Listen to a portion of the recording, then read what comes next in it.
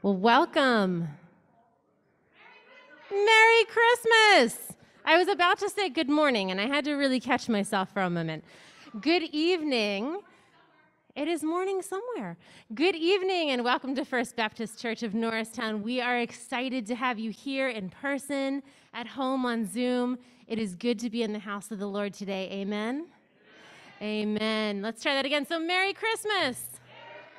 Merry Christmas. We are excited, and I believe the praise band is going to start us off in a moment.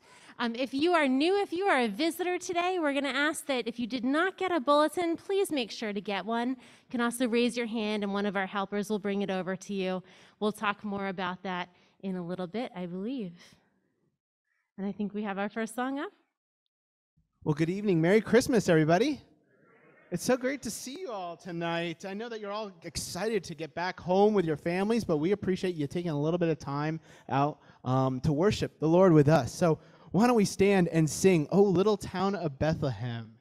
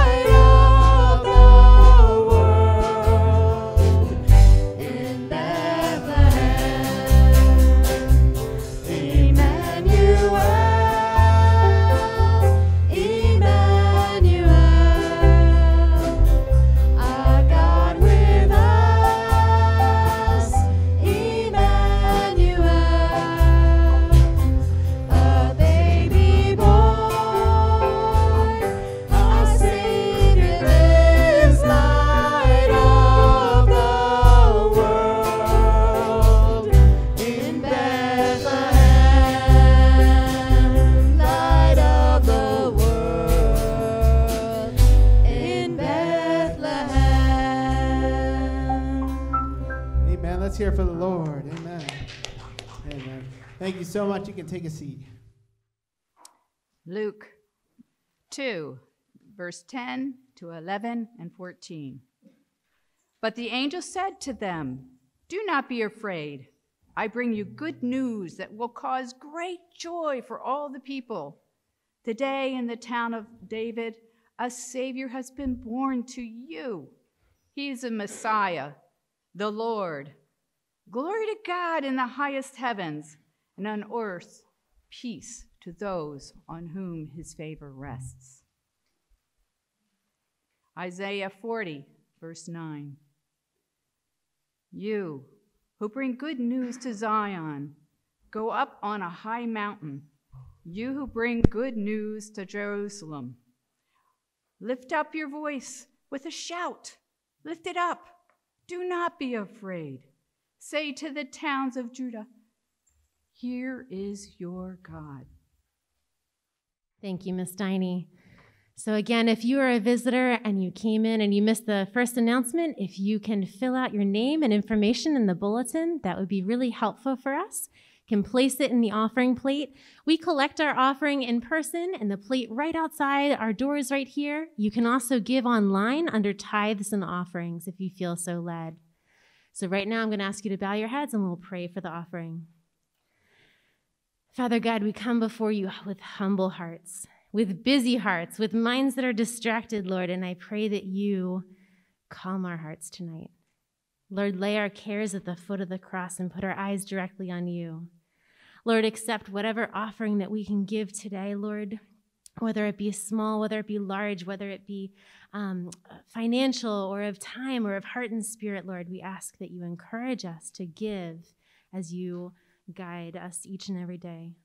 Lord, help us to shepherd those around us. Help us to love one another, love within this congregation, but also to spread the word outside of these church doors.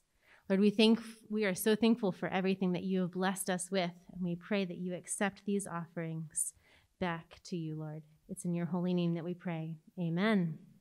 Amen. Right now, I'm going to invite all of the children of the church to come forward. We're going to do a little children's story up here, so come on up. If you feel like you're a child at heart, feel free to join us. Come on up. Good to see you guys. Good to see you. Hi, good to see you. I don't know. Maybe it's telling you to sit. Crown marks the spot. There you go. Grab a seat. Grab a seat. Hi. So, hey guys, it is so good to see all of you. How are you? Good? You're good? Okay. Awesome. Well, I have to apologize. I'm really sorry, but I have to go. Okay, see ya. Um, see, like, I really can't talk right now. I have so much to do. I am so, so busy right now. I've got stuff to get ready for Christmas. I've got gifts to wrap. I've got people to pick up from the airport, food to cook. I am just so incredibly busy. hang on a second. Hello? Hello? Hello? Yeah, yeah, I really can't talk right now. Yeah, what? Okay, can you Okay, can you just have someone else decorate this year? Yeah, I just don't have time. Okay, see ya. Thanks.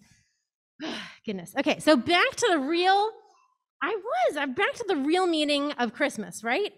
So we have Christmas coming up, and we need to focus on the real meaning of Christmas. What's the real meaning of Christmas? Uh, hang on. Um, hello? What? No, I cannot pick up grandma from the hospital or the airport. Can she just take a bus? Goodness. Oh my goodness. Okay, Uber. That's fine. I'll, I'll, I'll text her how to do Uber. Okay, okay, bye. All right, thanks. Oh, sorry about that. Back to the real meaning of Christmas. So I just have. A...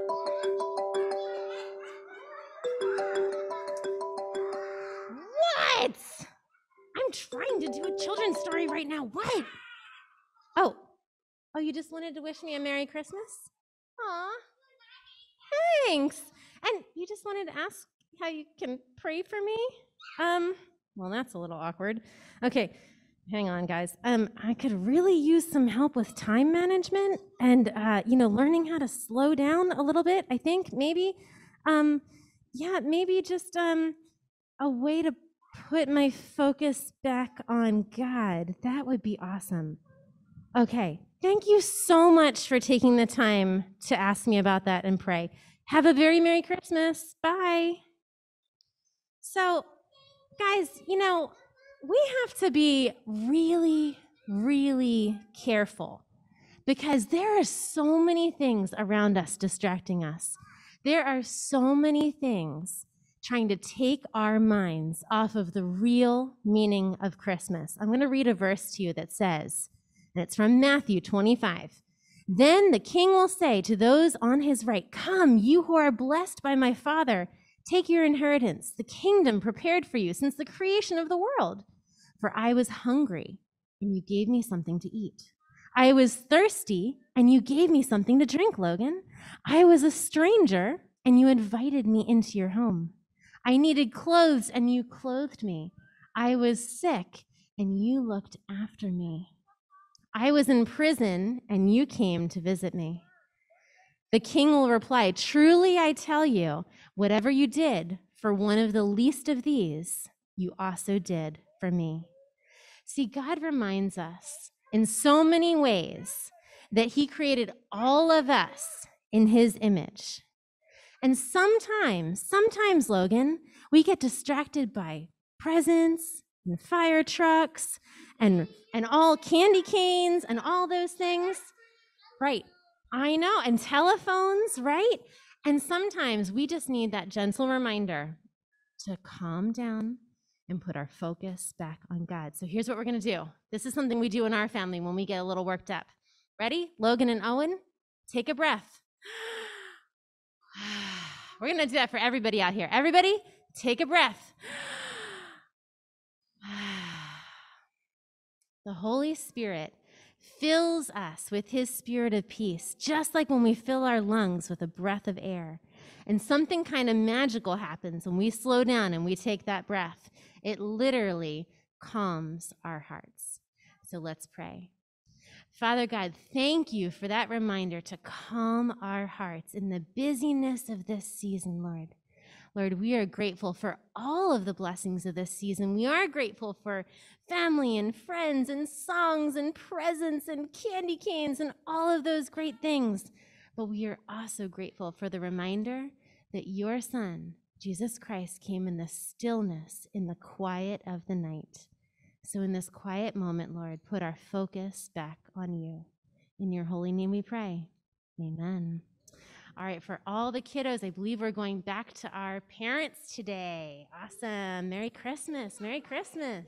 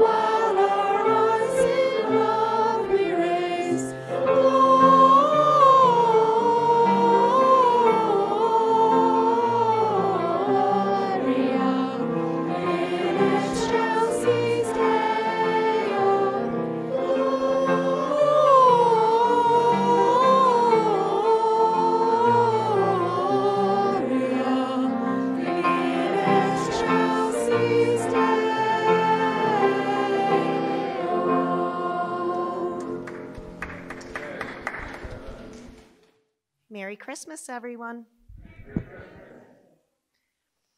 So, this is Matthew 1 18 through 25. This is how the birth of Jesus Christ came about. His mother Mary was pledged to be married to Joseph, but before they came together, she was found to be with child through the Holy Spirit. Because Joseph, her husband, was a righteous man and did not want to expose her to public disgrace, he had in mind to divorce her quietly. But after he had considered this, an angel of the Lord appeared to him in a dream and said, Joseph, son of David, do not be afraid to take Mary home as your wife, because what is conceived in her is from the Holy Spirit. She will give birth to a son, and you are to give him the name Jesus, because he will save his people from their sins. All this took place to fulfill what the Lord had said through the prophet. The virgin will be with child and will give birth to a son, and they will call him Emmanuel, which means God is with us. When Joseph woke up, he did what the angel of the Lord had commanded him and took Mary home as his wife. But he had no union with her until she gave birth to a son, and he gave him the name Jesus.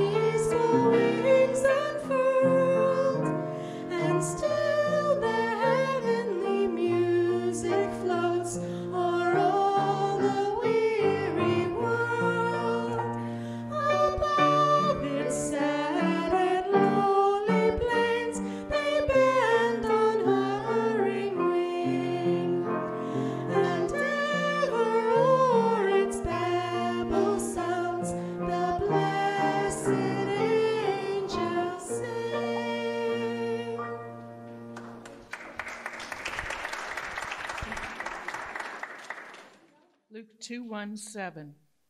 2 1 through 7, excuse me. In those days, Caesar Augustus issued a decree that a census should be taken of the entire Roman world. This was the first census that took place while Quirinius was governor of Syria, and everyone went to their own town to register. So Joseph also went up from the town of Nazareth in Galilee to Judea, to Bethlehem, the town of David. Because he belonged to the house of the line of David, he went there to register with Mary, who was pledged to be married to him and was expecting a child. While they were there, the time came for the baby to be born, and she gave birth to her firstborn, a son. She wrapped him in clothes and placed him in a manger because there was no guest room available for them.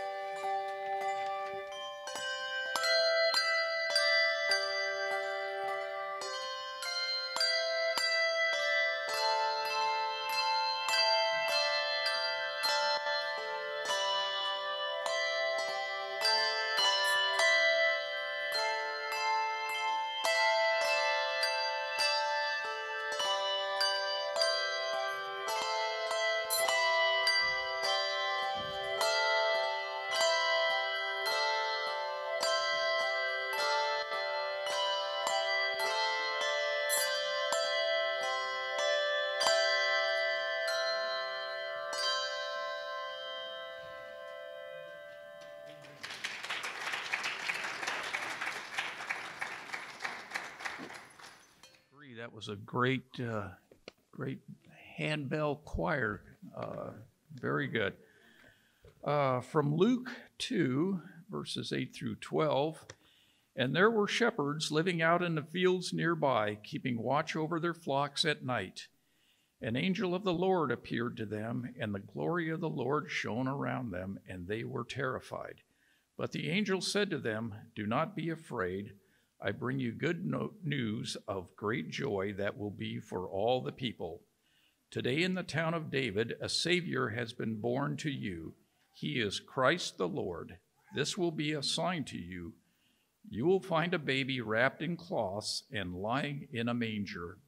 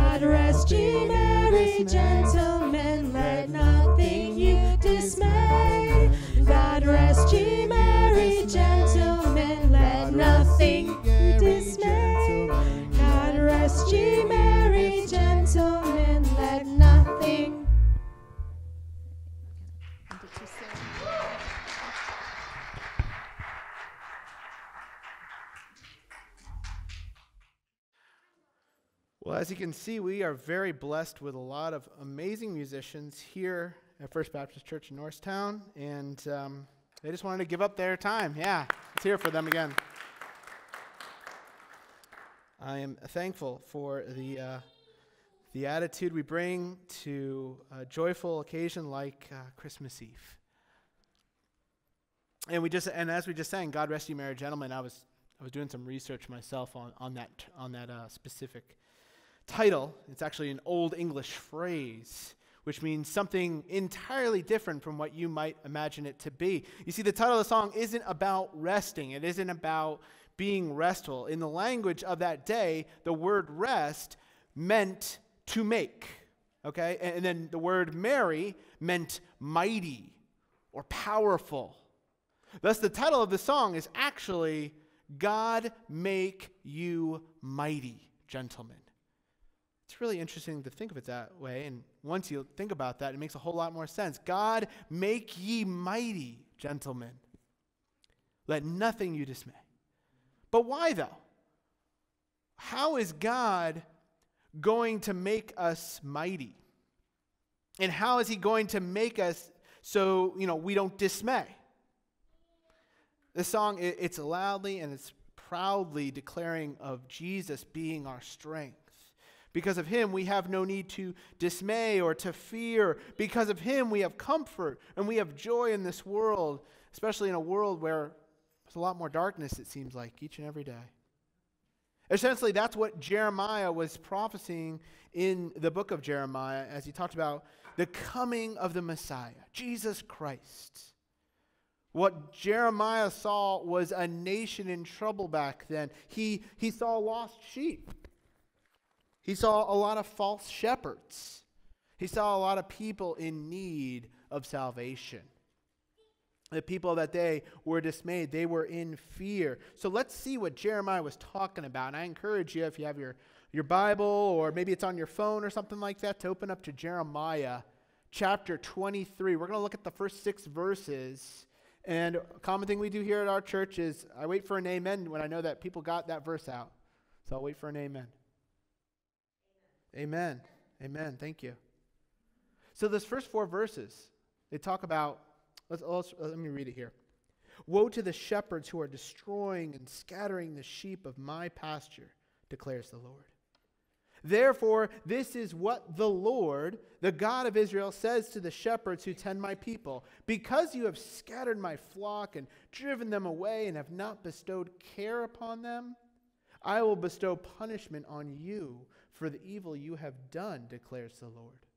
I myself will gather the remnant of my flock out of all the countries where I have driven them and will bring them back to their pasture, where they will be fruitful and increase in number. I will place shepherds over them who will tend them, and they will no longer be afraid or terrified, nor will any be missing, declares the Lord. So, this prophecy of Jesus the Messiah. It's truly amazing. I mean, just think about it. Here, Jeremiah says that these shepherds placed by God, they were not terrified. But for those who saw our pageant last Sunday with our, ch- with our children, and I was leading the shepherds, we were quite scared, right, Michael? We were, we were blinding our eyes. And this verse literally talks of how these shepherds who, who witnessed the Christ child were at first absolutely terrified. Yet this is another prophecy that's being fulfilled here. While they were afraid, yes, they warmed up to that situation. They saw these amazing angels and they were amazed and they went to see Jesus in the manger. Do you ever feel like you're, you're missing out on something big at Christmas? Something amazing? Did something ever scare you? But eventually you knew that its purpose was something for good. I think of over 13 uh, or 13 years ago. My wife and I have been married for that long, my wife Liz, and it's been a, a crazy adventure, a loving adventure. But before that, I was scared. She can tell you all about it. she, I was, I was scared. I was like, "Am I making the right decision? Am I doing this right? Am I, am, am I going to be a good husband to my wife?" Uh, our um, Jimmy Dorado, the person that married us, he said it's going to be the hardest thing you do in your entire life to get married. And that scared the heck out of me because I was a C average student in high school. And, uh, and, and then, but of course, you know, 13 years later, here I am, fully in love, more in love with my wife and my family than ever before, realizing that while it was hard, it was fruitful in my life. Same with having a kid. Seven years ago, Owen was born, our firstborn, and before that, I was deathly scared of what it might mean to be a father. Am I going to do it well? Am I going to protect this child with my whole being? Am I going to know how to change a diaper? Am I going to do this right? And there was lots of prayers about that. But yet, seven years later, here I am, fully in love with a, an, another, uh, another human being that I never thought I could be in such in love with, with my own kids, Owen and Logan. And it scared me each and every time, but I saw the good that my wife Liz drew out of me, and I saw the good that Owen and Logan drew out of me each and every day, and each of them still do it to this day. God wants to draw the good out of you when you are most scared. He did so for me.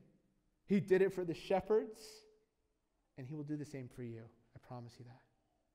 And then finally, in verses 5 and 6 of our passage, it says, The days are coming, declares the Lord, when I will raise up for David a righteous branch, a king who will reign wisely and do what is just and right in the land. In his days, Judah will be saved and Israel will live in safety. This is the name by which he will be called the Lord, our righteous Savior. So Jesus is described perfectly here in this passage. Jesus was the king God was going to raise up. Jesus was the righteous branch, as described, and Jesus would be called the Lord, our righteous Savior. He was going to free us from that which would enslave us.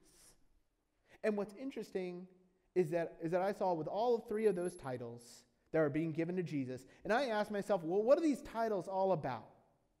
What was it about Jesus being all of those that should inspire me to confidence? Well, the first, uh, first the prophecy declared that Jesus was going to be my king. Verse 5 says it again I will raise up for David a righteous branch, a king who will reign wisely and do what is just and right in the land. You see, Jesus wasn't going to be just any old king. Back in the Old Testament, God warned Israel about asking for a king. He, he told them that mortal kings weren't all that they were all cracked up to be, and they would soon regret their decision. But Israel still wanted a king just like everyone else had. Okay, I need, my, I need the kids in, in, the, in the audience to help me out again. What's, um, what's a Christmas gift? Michael, I'll start with you if you don't mind. What's a Christmas gift that you're like super excited that you hope, you're like praying that you're going to get tomorrow or sometime this week? A VR headset. That sounds expensive. Wow. That's amazing. All right, that you, yeah, yeah, of course, of course, of course. All right, all right well, um, Owen, what are you hoping to get for Christmas? Legos. Okay. All right. He's hoping for Legos, people. All right. um, what, what's, what's the toy that everyone's really excited for that sold out real quick? Do you know? Do you know what sold out real quick? Or what, what big, what did you want, Susan?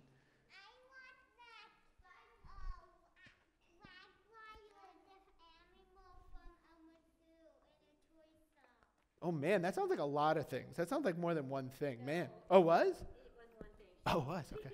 She wants a plush jaguar. Okay. So would the Elmwood Park Zoo. Uh, I see Elmwood Zoo had that plush jaguar that you really want. Very cool. I like that. So, so there's some things that you really, really want, and you're probably thinking to yourself, well, I hope I get this as well. Um, you know, I know some of the things that I've been seeing, like all over Walmart and t- Target and stuff like that. You know, you, get, you, see Pokemon, you see the Paw Patrol going, see these electric scooters being sold very quickly.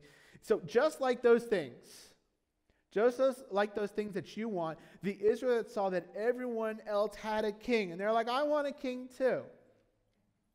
They wanted someone who would protect them, they, someone who would administer the justice, someone who would lead them to prosperity and to success, someone they thought they could count on to do what had to be done.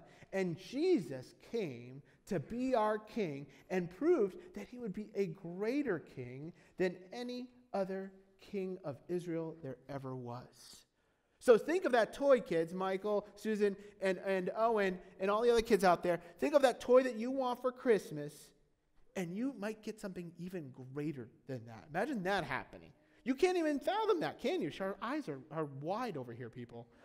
A king better than the, and more powerful than any earthly king could ever hope to be. That's what it's like with Jesus coming.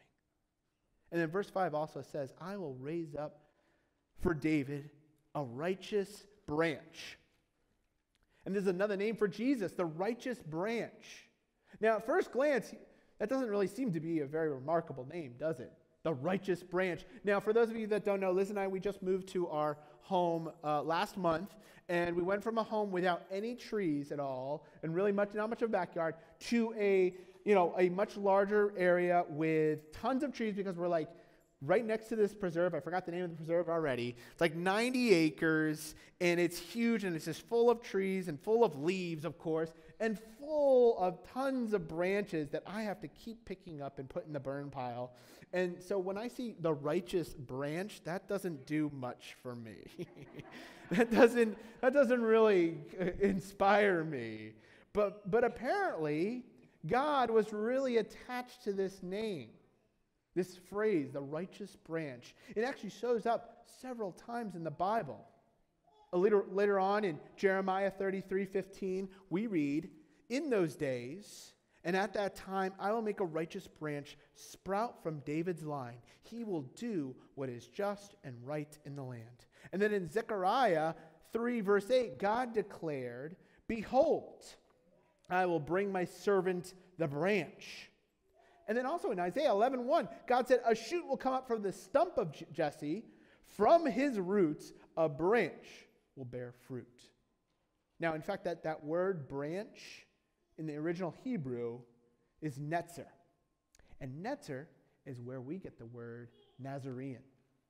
That's why we find in Matthew chapter 2, and he, Jesus, came and dwelt in a city called Nazareth that it might be fulfilled which was spoken by the prophets, he shall be called a Nazarene. Now, obviously, this branch thing, it's very important to God. But why, why would calling Jesus the branch even matter to any of us? Notice, again, though, when it says, Isaiah 11, a shoot will come up from the stump of Jesse, from his roots, a branch will bear fruit. Jeremiah 33 says it a little differently. I will make a righteous branch sprout from David's line. What God is saying, this branch, this Jesus of Nazareth, will have a root. This branch just wouldn't appear one day and be like, ta da, I'm here. Okay. when this branch showed up, you would see his roots, you would see his credentials, you would see his paper trail. I mean, did you realize that in the Old Testament, there were over 300 prophecies about the coming of the Christ Messiah? Over 300 times in the Old Testament, God repeatedly hammered that, one, that someone was coming a Messiah, a Savior, a hero for his entire people. In fact, this anticipation of a coming Christ was so much a part of the fabric of the Jewish nation that when John the Baptist came preaching and baptizing people for the repentance of their sins. One of the questions that the Pharisees had and asked him, and they all said, Are you the Christ that we are to expect?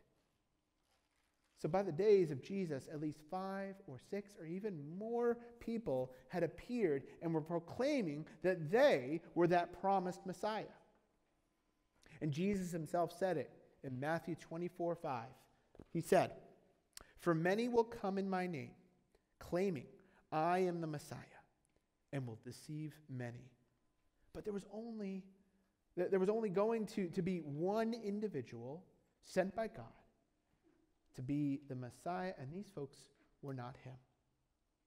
So, how could you tell if someone w- were sent by God or if they were just putting you on? Well, you, would, you could tell by their credentials, right? Let's just say, you know, someone comes up to your house tonight. You know, you get home from church. Pastor CG was going on and on. I just want to go to bed, right? And uh, you hear a knock on your door. And it's, uh, you open the door and you see someone dressed like a police officer. Well, as an American citizen, you have the right to ask for proof of their credentials if you know if that person is really a police officer. So, what could a police officer possibly show that to show that to prove that they are who they say they are? Their badge. Thank you, AJ. Yeah, the badge, right? That badge proves that they have the right to do and say what a police officer does and says. But if they don't have that badge, they don't have that right. And they probably aren't who they say they are. So these credentials are really important. For hundreds of years before Jesus was born, God declared over and over again where the Savior would be born, how he would live, what he would teach, and how he would die. For hundreds of years, God hammered home someone is coming, I promise you. And when Jesus did come in that baby in a manger, he fulfilled all of the prophecies out of the Old Testament about this Messiah who had been promised to us all. So now God declares that this king, this righteous branch, was going to have another special name. Verse 6 of our passage says, This is the name by which he will be called, the Lord our righteous Savior. This prophecy is saying that Jesus would be our righteousness. 1 Corinthians tells us Christ Jesus, who has become for us wisdom from God, that is, our righteousness, holiness, and redemption.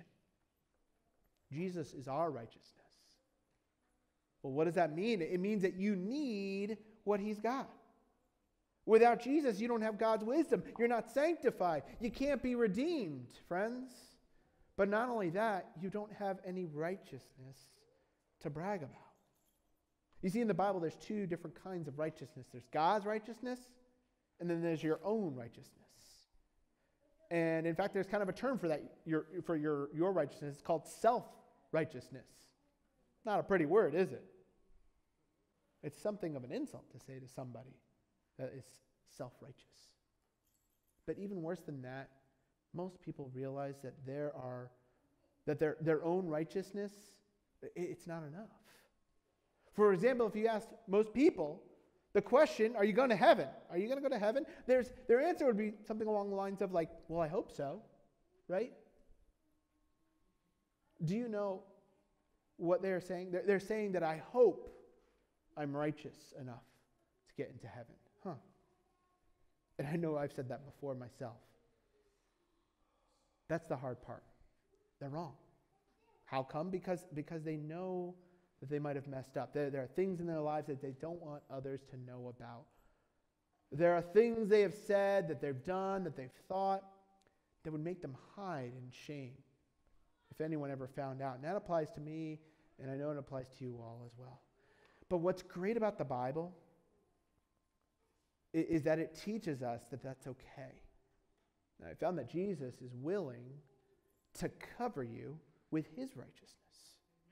That way, when you, when you stand before the throne of God, he's not going to see your sin. He's not going to see your mess ups. He's not going to see your shame.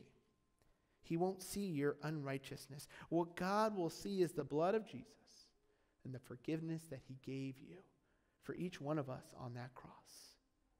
Jesus is our advocate with the Father the nail prints on his hands and his feet and that mark on this, uh, of the spear on his side. It's our only hope of salvation, friends. It was his righteousness that gives us the promise of heaven. The righteous branch was firm in his root. He died on a tree and firmly planted so that we might be forgiven and come to know him. This Christmas, I pray that the righteous branch of Jesus Christ blesses you and forgives you when you all you have to do is simply ask for that. That you come to know the King of Kings in a new way. Church, will you pray with me?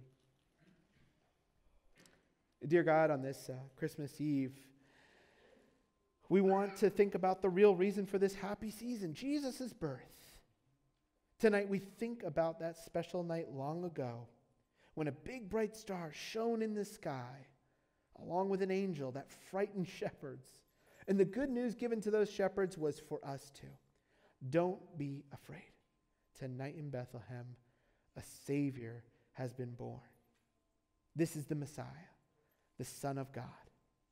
And when we sing the Christmas carols tonight, tonight, tomorrow, and throughout the week at this time of year, may we join the angel's song and so many others who are praising and thanking you for sending us Jesus, our Savior.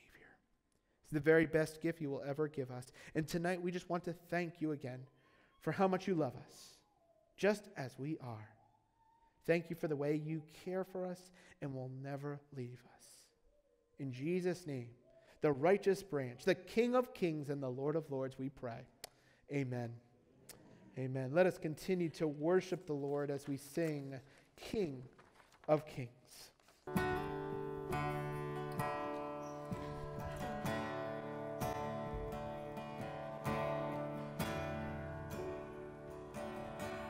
The darkness we were waiting without hope, without light.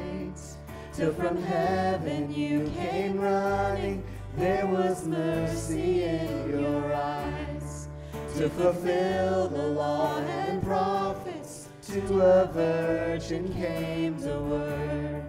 From a throne of endless glory to a cradle in the dirt.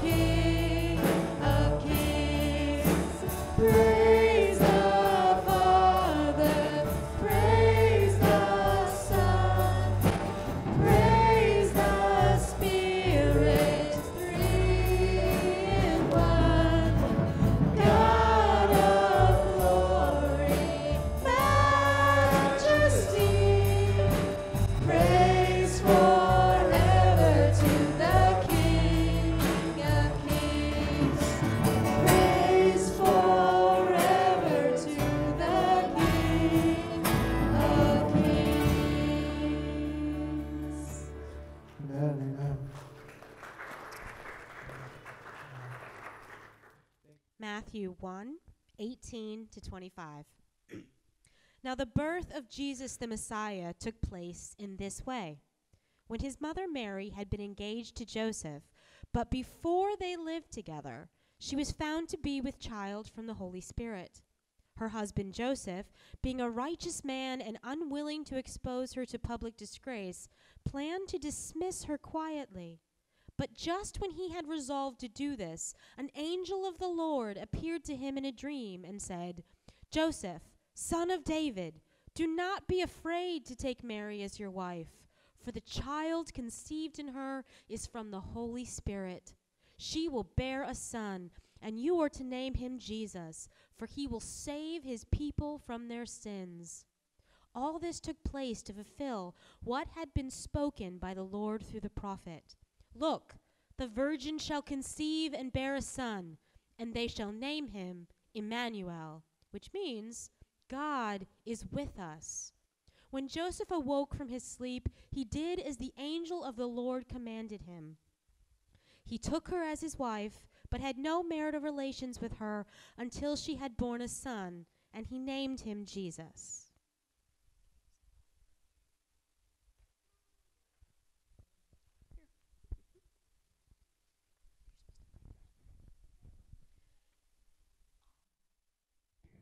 On this most holy day, we light all four candles in our Advent wreath, and we are reminded of the expectation, preparation, proclamation, and revelation of his coming. Now we light the Christ candle. We rejoice that the promise of God has been fulfilled in the coming of the baby born in a manger. Let us pray. Gracious and mighty King, we celebrate your goodness to us as we join the triumph and joy of Christmas. As your love has been revealed in all of its fullness, we pray that love may abound in our hearts during this special day. Grant us the Spirit of Christ that we may live in the fullness of his character every day.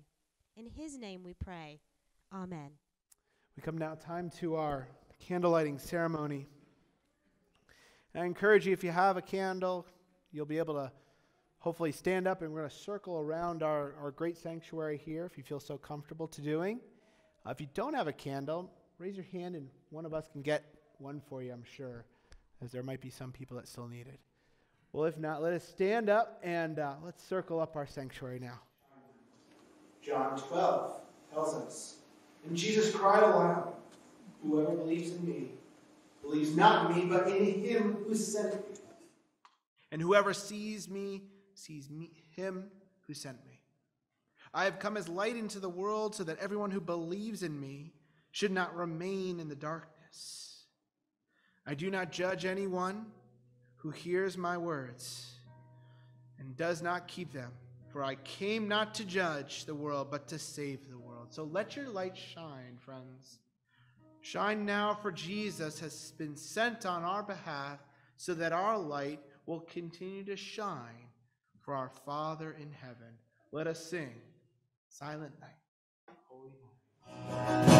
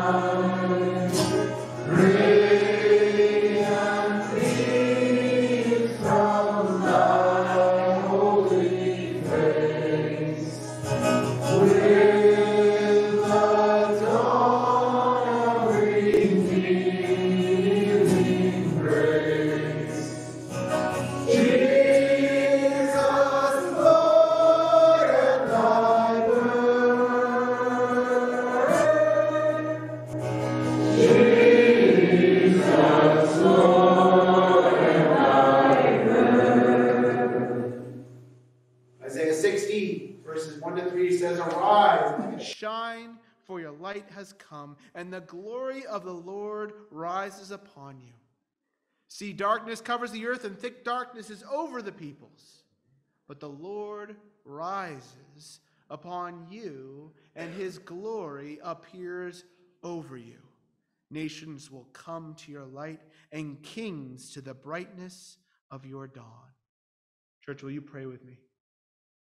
Dear Lord, on a wondrous night, you sent your Son to take on frail human flesh in order that all who believe in Jesus might be saved. You sent angels to herald his birth in Bethlehem and a star to proclaim it to the ends of the earth. Send us now as messengers of your good news and proclaimers of your peace. In Jesus' name we all pray. Amen.